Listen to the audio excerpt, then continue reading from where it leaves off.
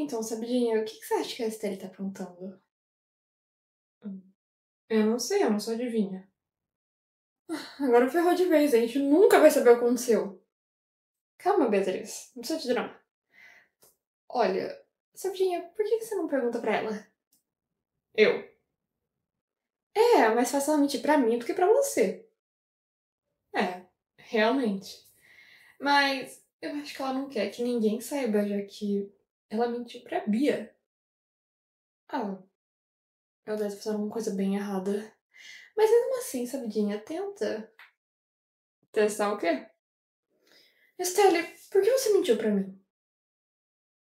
Oi?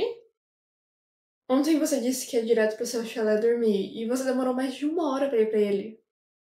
Eita, casa de namoro. Cala a boca. Ah, ah, isso, é... Por que você mentiu pra mim? Olha, eu juro que eu tenho um bom motivo.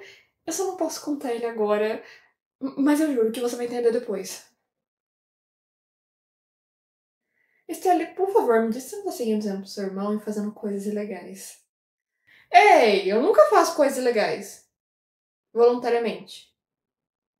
Na maior parte do tempo. Oh, Ana Beth, vem cá.